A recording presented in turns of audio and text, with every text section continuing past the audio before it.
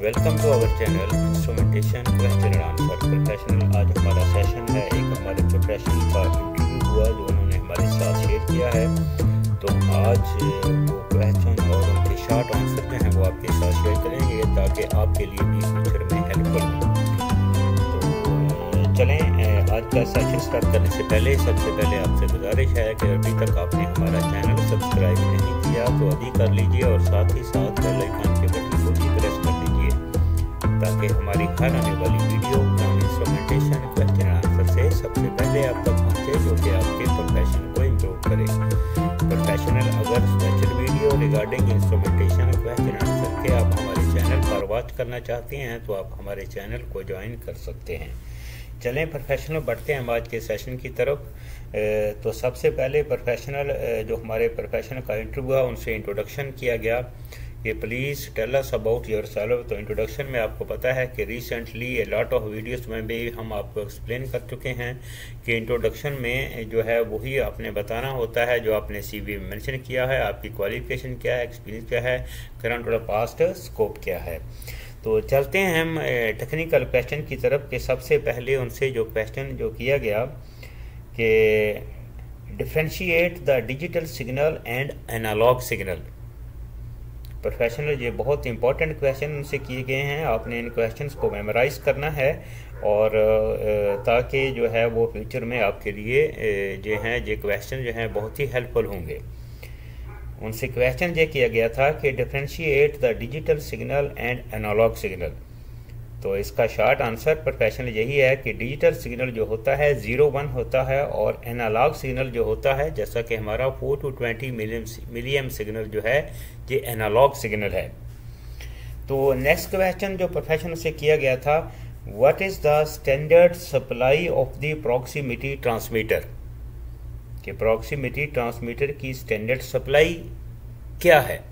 तो professional proximity की transmitter की जो स्टैंडर्ड सप्लाई जो होती है, वो minus twenty four voltage DC होती है। नेक्स्ट में प्रोफेशन उनसे ये क्वेश्चन किया गया था कि what is the gap voltage क्या है? यानी कि गैप वोल्टेज क्या है? तो प्रोफेशनल इसके बारे में भी रिसेंटली वीडियोस में हम आपको एक्सप्लेन कर चुके हैं कि गैप वोल्टेज क्या है। तो गैप वोल्टेज इसको आप ऐसे डिफाइन कर सकते हैं कि हमारे एक ऑब्जेक्ट और जो हमारी जो प्रोब रहती है, उसके बीच का जो गैप का डिस्टेंस जो रहता है, उसके दरमियान में जो वोल्टेज जो हम जो एडजस्ट करते हैं, उनको गैप वोल्टेज कहा जाता है। नेक्स्ट क्वेश्चन प्रोफेशन उनसे जो किया गया था कि differentiate the ILD and P and I ID कि आईएलडी को और पी एंड आईडी को डिफ्रेंशिएट करें।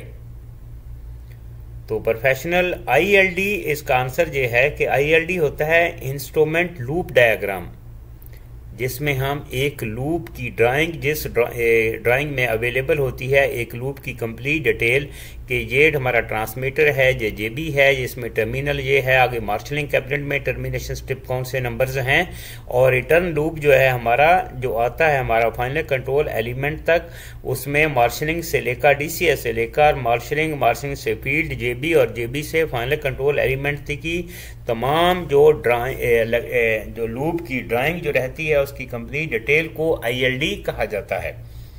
तो पी एंड आई डी क्या होती है कि ये इसको बोलते हैं कि piping and instrument diagram P and I में जो है वो आपका उस इक्विपमेंट नंबर की डिटेल्स उसकी पाइपिंग की कंप्लीट डिटेल उसकी जो है वो तमाम स्पेसिफिकेशन ये इस लाइन पे, इस वेसल पे जो है वो कौन कौन से इंस्ट्रूमेंट्स इंस्टॉल्ड हैं कितनी प्रेशर गेजेस हैं, कितने कंट्रोल वाल्व हैं कौन कौन से कंट्रोल वाल्व हैं कौन कौन से टेम्परेचर एलिमेंट्स लगे हुए हैं टीजीज लगे हुए हैं टीआई लगे हुए हैं एलटी लगे हुए हैं। तो ये तमाम जो डिटेल जो रहती है, ये आपको मिलेगी पी एंड आईडी में। इसको बोलते हैं पाइपिंग एंड इंस्ट्रूमेंट डायाग्राम तो प्रोफेशनल नेक्स्ट में जो उनसे जो क्वेश्चन किया गया था कि explain the pressure switch calibration method, कि प्रेशर स्विच को कैसे कैलिब्रेट करते हैं, इसका मेथड जो है एक्सप्लेन करें। इसके बारे में भी हमारी रिसेंटली बहुत सारी वीडियोस जो पड़ी हुई हैं, कि प्रेशर स्विच को लो प्रेशर स्विच को हाई प्रेशर स्विच को कैसे कैलिब्रेट करना है तो यहाँ पर इस क्वेश्चन में उन्होंने ये नहीं कहा कि हाई प्रेशर स्विच को कैसे कैलिब्रेट करना है, या लो प्रेशर स्विच को कैसे कैलिब्रेट करना है। यहाँ पर सिंपल उनसे ये पूछा गया है कि explain the pressure switch calibration method तो प्रोफेशनल इसका मेथड जो है, हम आपको स्लाइड्स में भी आप को शो कर देते हैं रिटर्न में भी, और थोड़ा सा शॉर्ट एक्सप्लेन भी कर देते हैं आपको कि प्रेशर स्विच को कैसे कैलिब्रेट करना है। प्रेशर स्विच को कैलिब्रेशन करने के लिए आपको कौन कौन से इक्विपमेंट्स चाहिए होते हैं। इसमें आपको जो है, वो मल्टीमीटर रिक्वायर्ड होता है प्रेशर सोर्स रिक्वायर्ड होता है, और पेयर ऑफ़ केबल्स और हैंड टूल्स रिक्वायर्ड होते हैं।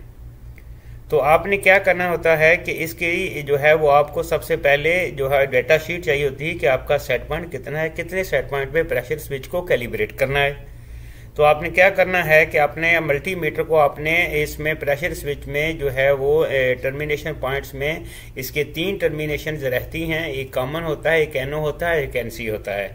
आपने कॉमन और एनओ पर अपने मल्टीमीटर को कंटिन्यूटी पे रखकर जो उसकी प्रोब जो है वो कनेक्ट कर लेनी है।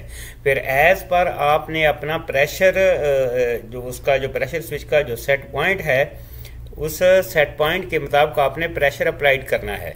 लेकिन सेट पॉइंट से हटकर सबसे पहले आपने मैक्सिमम प्रेशर अप्लाई करना है, जितना उस प्रेशर स्विच की रेंज है, और ज़ीरो अप्लाई करना है। टू और थ्री टाइम्स आपने इसको जो है, वो इस प्रैक्टिस को जो है, वो रिपीट करना है, ताकि आपको कंफर्म हो सके कि हमारा जो प्रेशर स्विच है, वो काम जो है, वो प्रॉपरली कर रहा है। उसके बाद आपने as per the set point जो है वो प्रेशर अप्लाइड करना है और प्रेशर स्विच की जो एडजस्टमेंट है, उस एडजस्टमेंट से आपने as per the set point उस प्रेशर स्विच को एक्टिवेट करवा देना है। तो आपने कामर और एनओ पर जो आपने मल्टीमीटर जो कनेक्ट किया था, वो एनसी हो जाएगा। जो ही उस प्रेशर सर्टन प्रेशर पर जो है वो हमारा प्रेशर रीच करेगा तो वो प्रेशर स्विच एक्टिवेट हो जाएगा।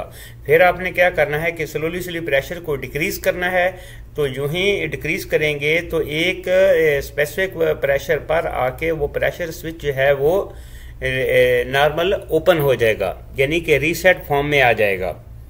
इसमें हमारी बहुत सारी वीडियोस ऑलरेडी पड़ी हुई हैं। आप उन वीडियो को प्रेशर स्विचेस स्पेशली कैलिब्रेशन के बारे में उनको वॉच कीजिए, क्योंकि इंटरव्यू में अक्सर जो है, ये क्वेश्चन होते हैं प्रेशर स्विच की कैलिब्रेशन का। तो आपने क्या करना है कि स्लोली स्लोली प्रेशर को जो है, वो डिक्रीज करना है। जो ही आपके सेट पॉइंट पर वो प्रेशर स्विच जो है वो रीच करेगा तो वो दोबारा रीसेट फॉर्म में आ जाएगा। ठीक है ना? तो वो जो आपका जितने प्रेशर पे स्विच एक्टिवेट हुआ था और रीसेट हुआ था जो बिटवीन का जो प्रेशर रहता है ये जो वैल्यू जो रहती है इसको रीसेट वैल्यू कहा जाता है। ठीक है? तो आ, ये मेथड है प्रेशर स्विच को कैलिब्रेट करने का। ये आपने जितने भी क्वेश्चन जो हैं उनसे ये किए गए, आपने मेमोराइज करने हैं ताकि आपको फ्यूचर में जो है वो किसी किस्म की परेशानी ना हो। तो उम्मीद करते हैं कि आज का सेशन आपके लिए बहुत ही हेल्पफुल होगा। तो मिलते हैं नेक्स्ट वीडियो में। Have a nice day